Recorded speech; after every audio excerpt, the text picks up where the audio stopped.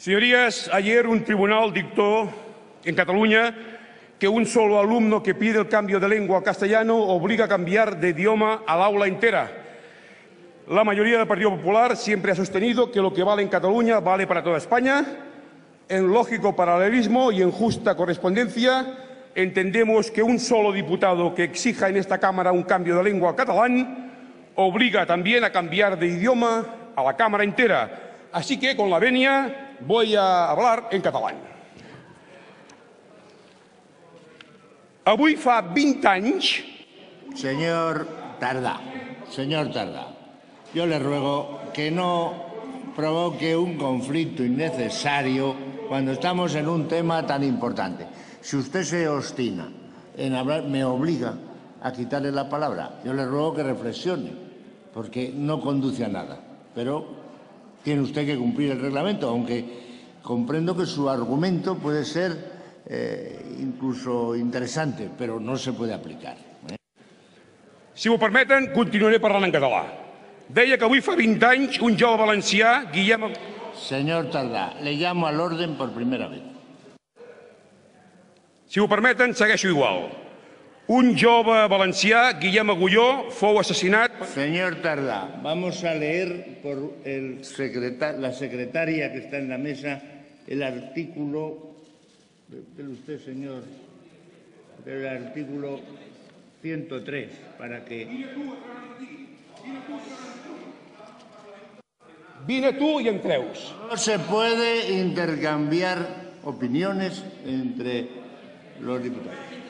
103, por favor, señora diputada, lea el 103 desde su escaño. No tiene micrófono. Pues déjeme a mí que lo voy a leer yo.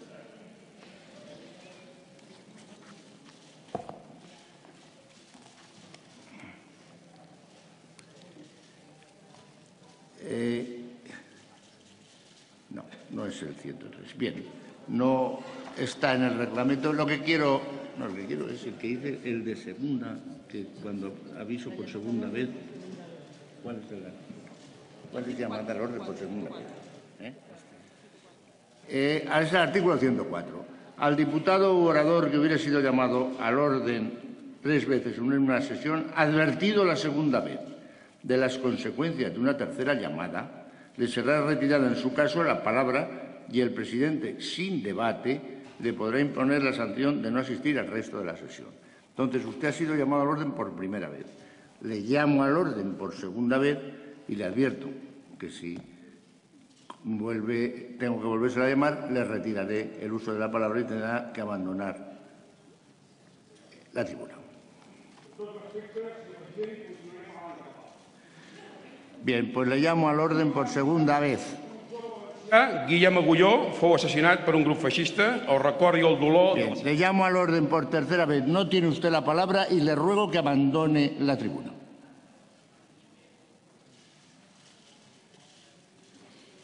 Muchas gracias, señor Tardá. Muchas gracias, señor presidente. Señorías, no se pongan nerviosos.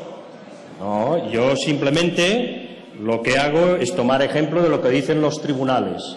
Una sola persona puede cambiar el idioma de una aula, de una clase, está facultada. Pues, por lo tanto, aquí yo creo que lo mismo se aplica y si no, pues hablen con el señor juez a ver qué les explica. Ahir una senyora gran em deia recuperaré els meus estalvis abans de morir-me. Señor diputado, le llamo al orden por tercera vez y le ruego que abandone la tribuna.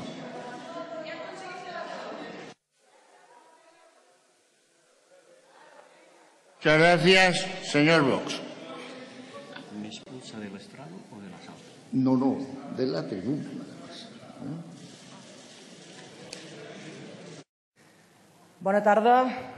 Señoras, señores diputados, señor ministro.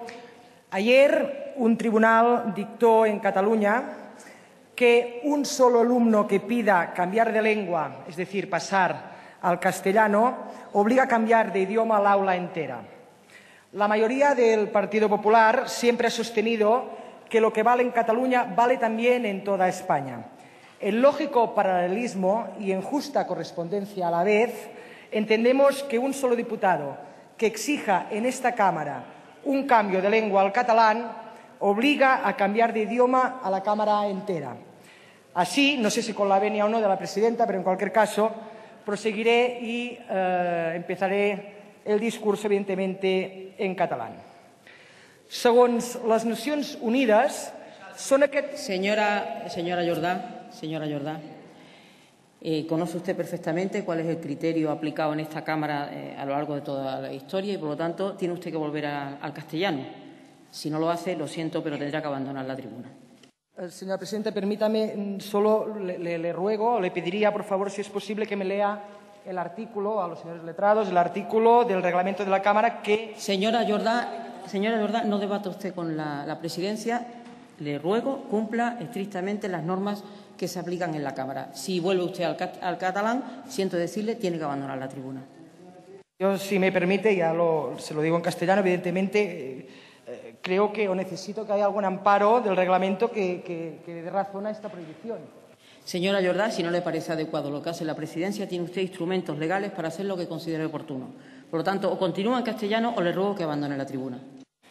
Pues bien, como decíamos, hablava que hi havia gairebé 3 milions de persones que formaven part d'alguna societat cooperativa. Señora Jordá, ya se lo he avisado, abandone la tribuna.